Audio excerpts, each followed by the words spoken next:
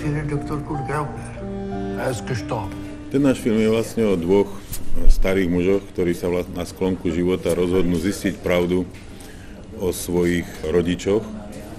Obidvaja z počiatku toho filmu sú v obrovskom názorovom konflikte, ich životná skúsenosť je iná, ich e, spomienky sú iné, ale postupom v priebehu toho filmu si nájdú k sebe cestu.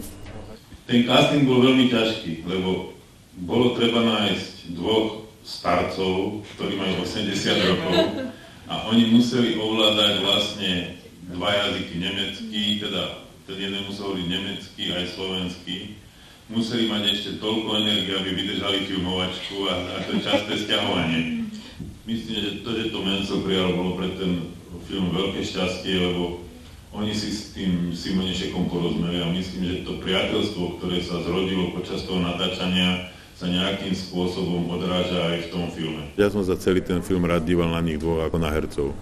A dokonca keď sme ten film strihali, tak ja som podriadil aj tú montáž tomu, že celý čas vlastne veľmi konzervatívne sledujeme ich tváre a ich reakcie.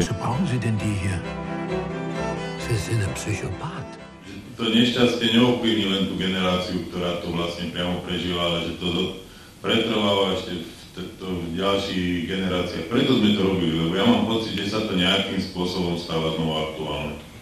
Na čo sa modlíte takýchto ľudí? Pretože o tom nič nevie. Sie denken, der Sohn eines Mörders ist besser dran als der Sohn eines Opfers.